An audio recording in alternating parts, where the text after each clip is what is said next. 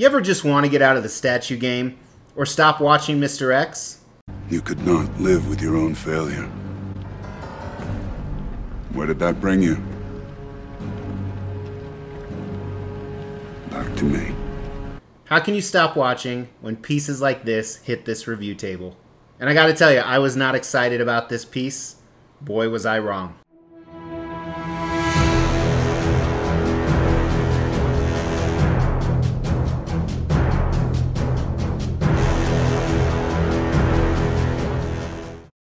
Thanks for tuning in. For you new people, my name is Mr. X, and this is the Xtreme Channel. Big portion of the channel is all about extreme collectibles, and as you see, I have an extremely rare custom, means it's an unlicensed private commission. They only made 40 of these. Thanos on Throne. I have been a lifelong Thanos fan. With Silver Surfer being my favorite character, Thanos, obviously one of his arch enemies, I remember reading tons of comics about growing up. So big, it's kind of pushing me off the screen here. Even before the whole MCU blast. And then when Sideshow Collectibles, a license company, came out with their Thanos on Throne maquette about three or four years ago, right before Thanos hit really big in the MCU, everybody loved that piece. I think that was one of Sideshow's biggest edition sizes to date. They made, I can't remember, it was like 6,000 of those. And funny enough, not only is this my second Thanos on Throne collectible, I have a third one coming in. That's right, this one from Thanos Quest, I believe ships in the next month. So when we get all of those in, you know what that means. That's right, of course I'll review that new piece when it hits the table, but we'll do a comparison of all three and see if I need to sell one. However, as I said in the intro, this is a piece, honestly, I was excited when they first showed the concept. And then when I saw some work in progress pictures, I wasn't a fan, particularly of the paint. So I wasn't as excited anymore. But now that he's here, I'm kind of overwhelmed. It is an amazing piece. Kind of a spoiler if you don't want to watch anymore. But if you are leaving, make sure to drop a comment below. Anytime you drop a comment in one of my videos, you get entered into a monthly drawing. Also, we are very, very close to this giveaway right here. On our road to 20,000 subs, we are giving out this Mortal Kombat statue at 12,500 subs. All you have to do is make sure you've liked this video, you've subscribed to the channel, and you've hit that bell notification and stay tuned for that giveaway. All right, so let's dive into the extreme review. And if you're new to the channel, I use a 1 through 5 scale. 1 or U is ugly, and X is extreme or 5. And we use a number of different categories. Some are self-explanatory. But today I'm going to highlight what I mean by each of those categories just in case, starting with concept. Now with concept is, we want to look at does it follow the storyline? Does it follow the character? Is it badass? Does it work well together? Now with this one, it's a little bit unique because it's kind of a take on Thanos. It's not the comic Thanos. It's not the MCU Thanos. It's kind of something in between, and I love what they did here. Incredibly unique. Let's check it out. So as throne statues became really popular, I'd say probably in the last two to three years, they all embody one characteristic. Not all, but quite a few do, is that the fallen enemies of whoever's sitting on that throne are on that. And this is no exception here. You have Cyclops and Doctor Doom and Iron Man, Thor, Captain America, Adam Warlock, Silver Surfer. And what's interesting about this is not all of these are heroes. Some of these are actually, you know, you look at Doctor Doom, he defeated another person trying to vie for power. And as you move up, he's sitting there in a very typical throne like aspect. He's smug, He's conquered his enemies. He's contemplating. He has a few different head switch outs we'll look at in design, which tell a little bit different of a story. He does have the Infinity Gauntlet. That's one of the big things about Thanos. He's extremely powerful without the Infinity Gauntlet, but with the Infinity Gauntlet, he's almost, almost undefeatable. And then as you move up, you see more of the throne. It's actually made out of stone, and there's a lot of references to death. Now, the comic version of Thanos is fascinated with death both figuratively and literally. That's one of the reasons he wants to wipe out half the universe. He actually courts Lady Death. I can't wait to get XM Studios Thanos and Lady Death, which is also arriving this year. But I love what they did with the throne in person. It is amazing. And we'll dive deeper into that with paint and sculpt. And it's funny, I think I forgot to mention they have a reference to my favorite character on there, Silver Surfer, his board on the side. Now, it's kind of hard to judge this because, like I said, the source material, I don't really know, or if this was just their own creative art direction, but it does encompass Thanos. It encompasses his power. It can, encompasses some of his main enemies. Obviously, the Avengers with Captain America, Iron Man, Thor, Silver Surfer, another cosmic being of Adam Warlock. I love the fact they threw Doom's mask in there.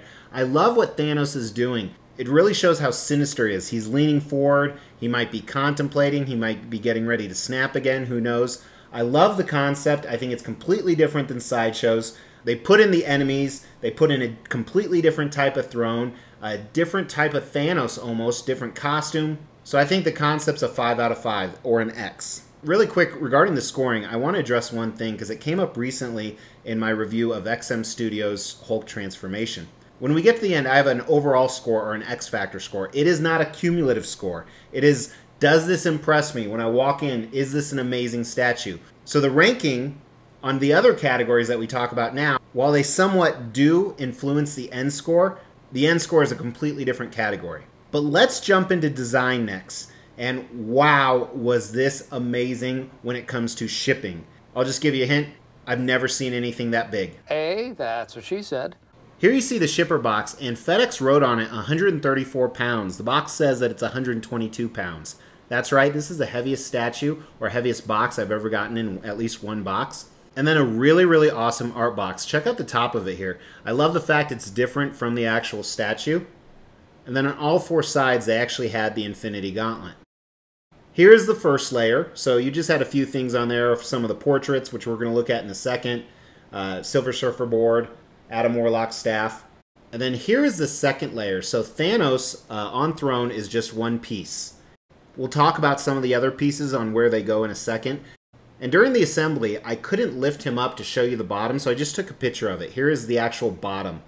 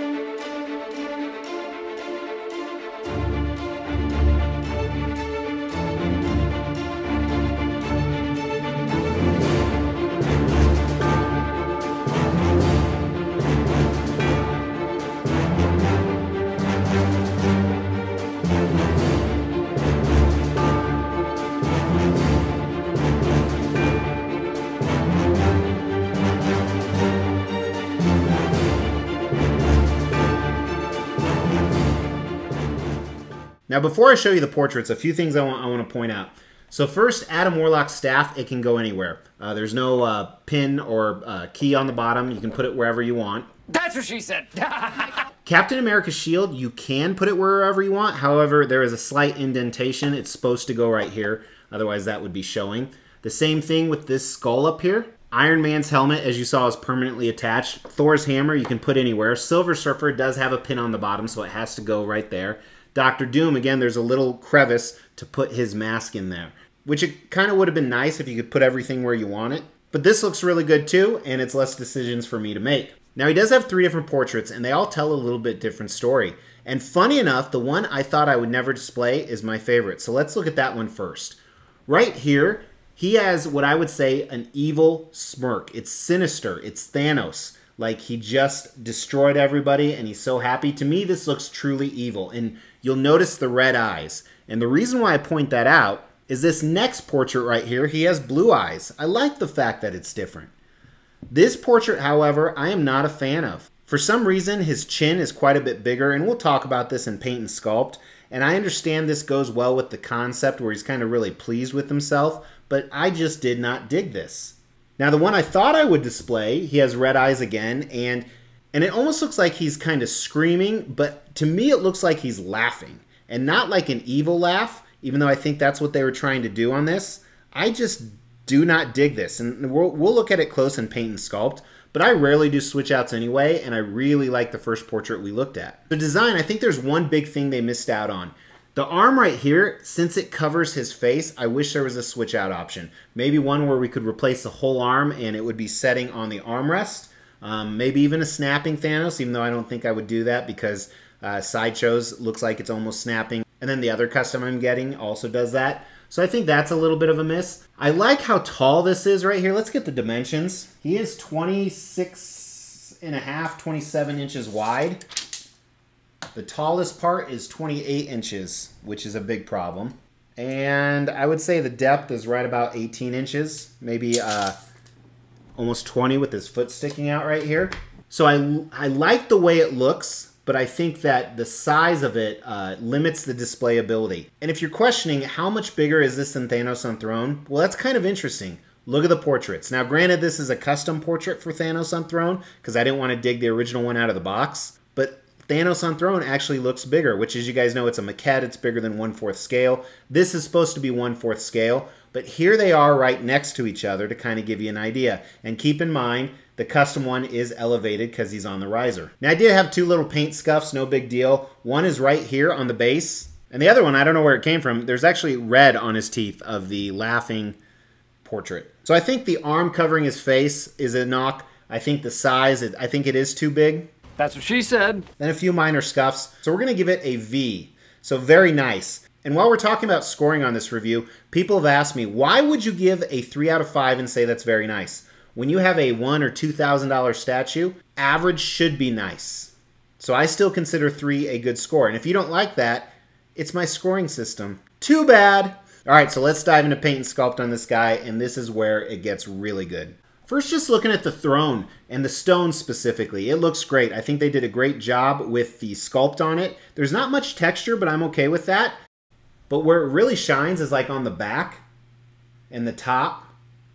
The different colors of gray they, they used in here, it makes it not too dark, but not too light. I really like what they did. And then you have a lot of those skulls that we talked about that kind of show the tribute to uh, Thanos and his obsession with death on the armrests, the top of the chair, and then a huge one on the back. And this one reminds me of Lady Death. And then look at the actual skulls. And these are a little bit smaller than his portrait, so you can assume these are definitely human skulls or some type of humanoid creature. Great coloring and shading on these. Here's Cyclops. I like that they added an X Man. That's pretty cool, especially the, the fact he's the leader of the X Men. Here's Thor's hammer, just a quick look. Not the best on this. Uh, it's not horrible, but it looks. It, I don't want to say it looks cheap. It just doesn't look as high end as the rest of the statue. I like uh, Iron Man's helmet. I like the fact that the eyes are kind of lit out, um, where it's busted and faded and crushed. Here's Cap's shield. Uh, part of it's broken, which is great. And what's interesting about this is it's clean. And at first I thought it would be dirty if it was in a fight. Well, maybe this is a trophy of his now. Kind of reminds me of Old Man Logan at the end uh, when Red Skull collected all those trophies. Here's Doom's mask. Looks fine. Surfer's board, so it's painted silver, not chrome, and I like that. You guys have heard me talk about that before. To me, silver is like when it's powered down, and chrome is where it's powered up, so obviously this would be powered down. And then here is Warlock's staff, looks great. A little bit different than you see in the comics. But let's get to Thanos. First, let's look at his gold trim. So, like his boots right here, for example. I love the folds in these. This color on Thanos is what I was not digging in the photos, and this is why I love to see stuff in person. It looks so much better in person. I like the uh, texture on it. It's not like a pattern texture, and there's some good shading in it that doesn't make it too bright and gaudy. Looks great. And Thanos is huge, huge feet. His hands are huge. A lot of the same stuff going on up here. You can see the infinity gems or stones And then kind of a shoulder pad collar area, the same exact color. I like that contrast. It really makes it pop. And we're going to see this trim in other parts. But let's look at the blue outfit. So this looks great. He is over muscularized, and I like that a lot. And then his pants, not only is this patterned, uh, you know, almost a honeycomb texture all over, but they're ripped up, and the shading they did in it made it look dirty, uh, where the muscle indentations were and some other places. It looks really good. I'm very impressed by it. Makes it pop. I think I actually like this Thanos, the paint and sculpt, better than the Sideshow one, which I didn't think I would. And then you see some of the gold trim we're talking about on his outfit. Very, very cool. So let's start with his portraits. And first I want to look at, I don't even know what this is, his hat or cowl or whatever it is. It's the same on all of them pretty much, but there's some cool stitching in it. You see a lot of the stuff we saw with the gold and blues all over. It looks good though. Nice texture. But we'll start with his, his blue one. So, uh, what I think I don't like about this one is the fact that his chin is a little bit too big, and you're going to see that on the next one we look at. I really like the blue color they used in the eyes, though. It's different than the rest of the statue, and they did a great job, especially with the paint around his gums and his teeth. Look really good. As far as the color for Thanos, a lot of people criticize how purple this was. I like it. I like it a lot, actually. Um, it's it is a Barney type color, but it suits the statue really well, and I like how it contrasts the gold and blue. And then his laughing portrait, very similar. A lot of the same stuff going on. They did a great job on the teeth. You see a little bit of the tongue on the inside. It looks okay. Uh, and here you really see his chin jutting out. And I think that's what I really don't like about this, but his cheekbones are higher raised. Sometimes I look at this, he looks like he's laughing. Sometimes he looks like he's screaming. And then my favorite portrait, again, this sneer. This just looks positively evil to me. I love what they did in the sculpt in his face. Definitely going to be the one I display at all times.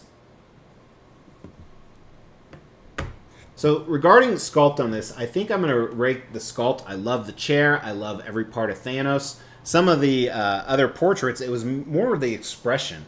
So I still think it's a five out of five, especially with my favorite portrait. I just absolutely love what, what they did with the sculpt and the textures. Very well done. Paint, I'm I'm having a rough time giving it a five out of five, but I can't really find anything that I would do differently other than the blemishes I had. So I, I'm I'm really digging the paint in person. This really really pops. No regrets. Five out of five on the paint. Definitely an X on the paint. In this particular custom group, I've actually got quite a few pieces from them. The Age of Apocalypse Magneto, the X-Men Chibi Diorama, um, there's tons more than that. Uh, all the Phoenix Force pieces are from them, and I have quite a few more coming. So, value. This guy was a tough pill to swallow. I think retail on the painted, I can't even remember, it was so long ago. This piece was long time coming, was like 17 or $1,800. And then shipping was $500 for economy shipping. So you're over $2,200 all in. It is a huge statue, though. Very low edition size of less than 40. I have no doubt I would make my money back selling this. I, I have no doubt this will be highly sought after. But I think overall value, it is a 3 out of 5. It's very good. It's not a bad value, but it's not exceptional by any means. Especially with so much Thanos on Throne competition. A lot of people would look at, hey, I can pick up sideshows for a $1,000 less, and it's also a very good piece. So does this have the X factor overall? When I walk in, does this get my attention? Yes, it does. I still love Sideshow Thanos on Throne, Maquette, but this is an X statue. Overall, definitely give him a 5 out of 5. Very excited to have in my collection. And part of it is the presence, the size. It's just so big. I'm not going to tell you which one I actually do like better. We'll do that on the Extrumbo when we compare all three. But now is the time to drop in the comments, do you like this one better or Sideshow's better? Let's get a poll going, see which one would win. If you had, if funds weren't an issue and you could buy just one, which one would you have? But we'll close it out for today, so make sure to hit that Mr. X logo if you have not subscribed. 60% of you haven't. Check out some of these other custom statue reviews. Otherwise, I will talk to you tomorrow. Take care.